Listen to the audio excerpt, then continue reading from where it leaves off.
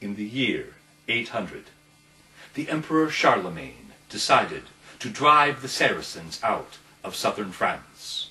And so he raised his army and marched on their capital city of Carcassonne. The Saracen king, Balak, had named the city after his wife, the Lady Carcasse. When Charlemagne first came over the hill and laid eyes on the city of Carcassonne, what he saw was an entire town built on an island in the middle of a river. Two full sets of castle walls completely surrounded the entire town. One bridge across. Charlemagne knew that there was no way his men could storm that castle, and so he had them surround the city and lay siege to starve the Saracens out.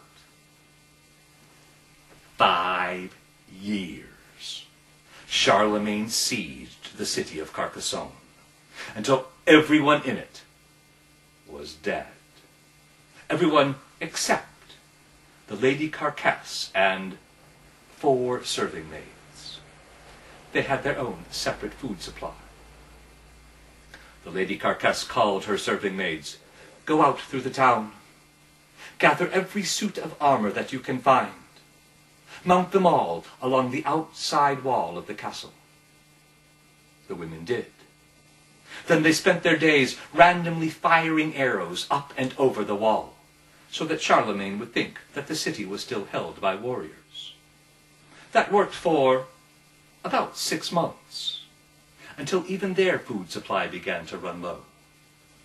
And so again she called her serving maids, Now, go out through the town, bring me every scrap of food that you can find. The women poured through the empty streets, gathered what they could, and brought it all to the royal kitchen. When the Lady Carcasse came to take stock, what she had was one live pig, a barrel of barley, a bucket of sugar, a case of fine French wine, and some wild herbs that had been growing in the abandoned gardens. To that, she added a box of rare spices, clove and nutmeg, cinnamon and ginger, spices so rare they weren't even thought of as food. They were considered money. Money's useless when you've starved to death, and so she placed it on the pile. They took that pig and they roasted it up. They used the barley and the wild herbs to make a stuffing for it. They took the sugar, the wine, and the rare spices and blended it into a candied glaze that they baked the pig with. When it was done, they placed it on a great silver tray that had been made for just that purpose in better times. The Lady Carcasse told her serving maids, Bring the pig down to the front gate. She went ahead, blew the trumpet, and brought forth Charlemagne's ambassador. Tell the emperor that the Lady Carcasse wishes to speak with him.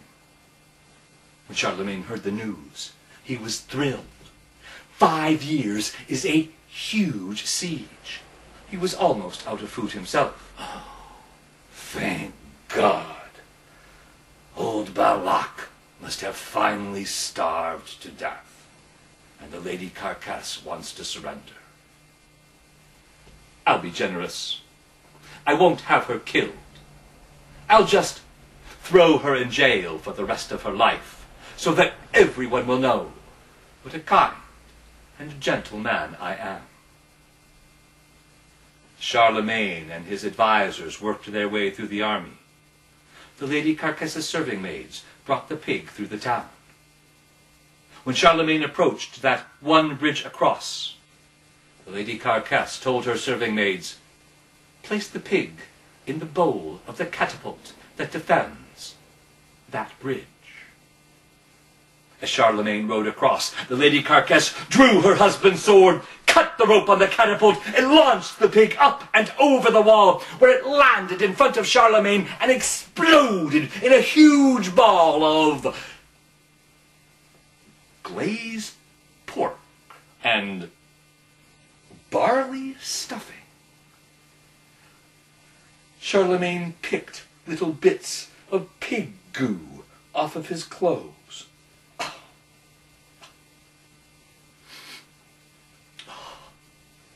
It was heavenly. He began gobbling little bits of it. And then he stopped. Charlemagne realized that he had lost the war.